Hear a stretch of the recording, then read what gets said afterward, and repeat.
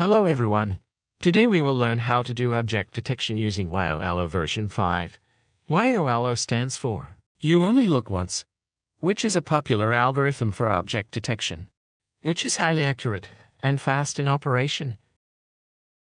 Here's a sample of what we can achieve by following this article. The first step is to prepare the dataset and label it using RoboFlow. In this example, we will detect beautiful marine life by defining the classes as follows. Class 1 sea turtle, Class 2 stingray and Class 3 is lionfish. The data preparation process is simple. Just search on Google and store all the files in a single folder. You can name the files anything you want. Let's start quickly. We will use about 10 images per class. The more images, the better. In one image, multiple objects of different classes can be detected. We'll use the RoboFlow tool to label the images.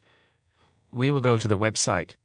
Sign in, create a new project by specifying the project name and the example class names we want to detect.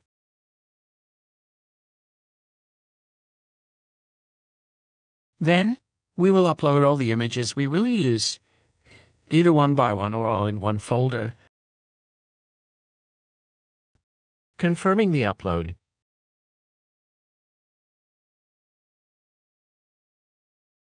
We will press the Assign Images button if we have a lot of images to label. Can work as a team by entering our friends' names to help.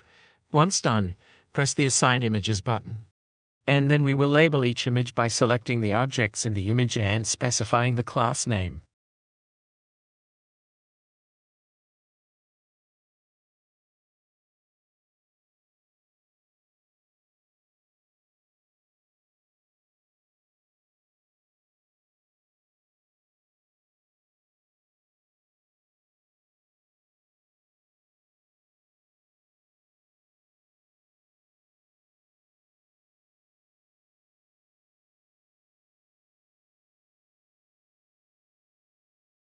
After labeling, we will export the labels in the required format. Later, add images to the dataset using the command add images to dataset. Then divide the number of images to be used for training the model and validation model evaluation. Create the dataset using the command generate new version in RoboFlow. There are tools for managing images before training.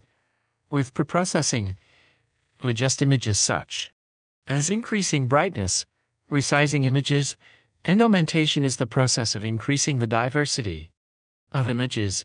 For example, from the prepared dataset, each class has 10 images. We can increase the number by creating new images, such as reversed images, or brighter or darker image, and will help increase the model's intelligence. In the case of testing with real-life images and images that have never been encountered before,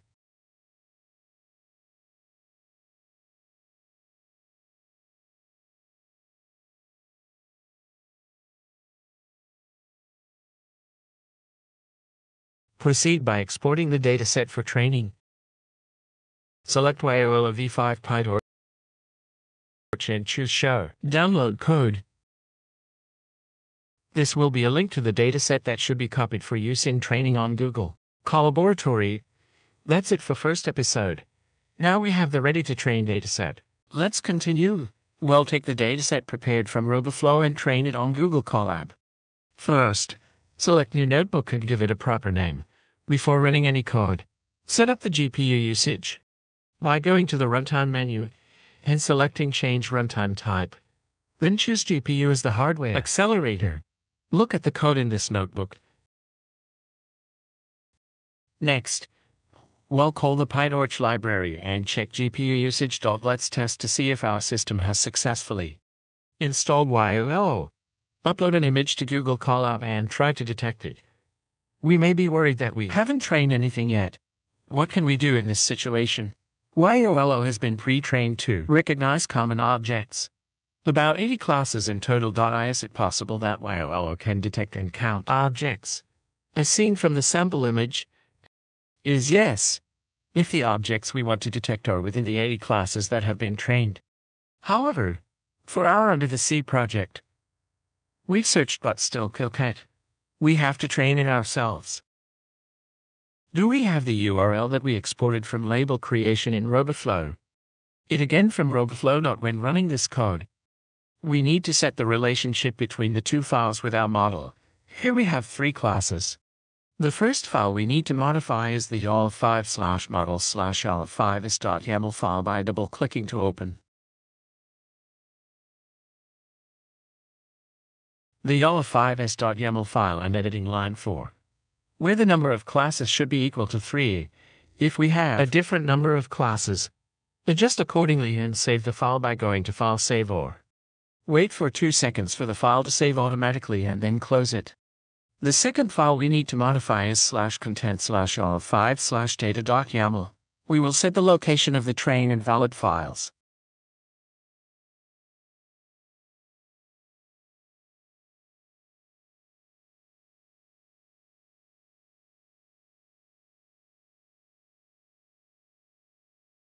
The rest of lines 4 and 5 should already be set according to the class we made from RoboFlow. If someone's is not set, Feel free to modify it. Next, we will use wandb as a tool to monitor and check our work and training results, so we can analyze the performance of the model. In this step, we need to click on the link to authenticate and bring the API key and paste it behind, then press enter. If you haven't registered with wandb yet, please sign up first and you will get a key like this. That's it. Before training the model, let's set the training parameters. The following are the parameters, which is the number of rounds of training, starting at 300 epochs. If overfitting is found, reduce the number of epochs. But if not overfitting and you want more accuracy, try increasing it to 600, 1200 epochs. Increase the image size setting.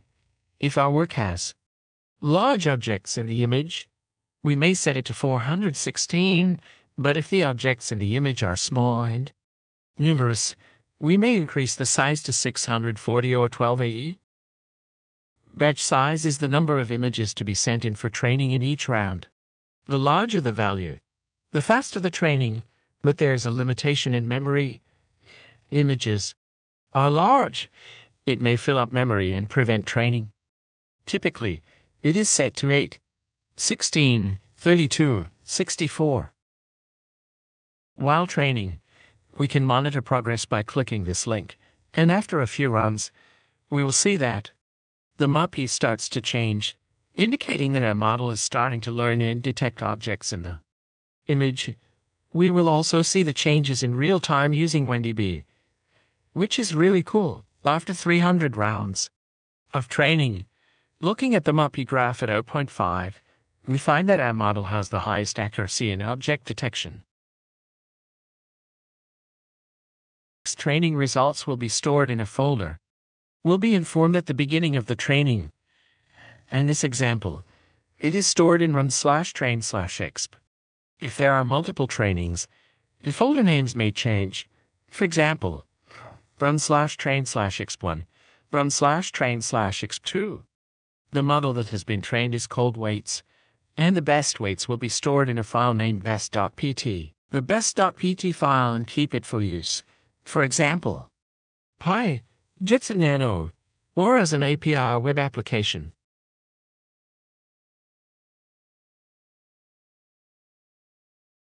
It's time for us to test our model. Try uploading images to Google Colab. For example, try uploading these three pictures. The test command is similar to the first time we tested before training, but this time we have two. Specify new weights obtained from our training and also specify the image size as we specified during training.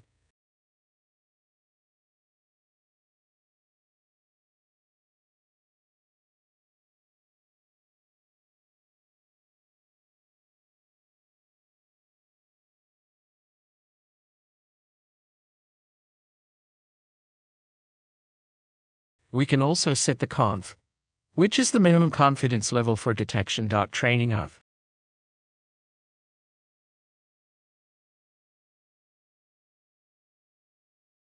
The YOL object detection model is complete. It can be applied to many projects. This video ends here. See you again. Goodbye.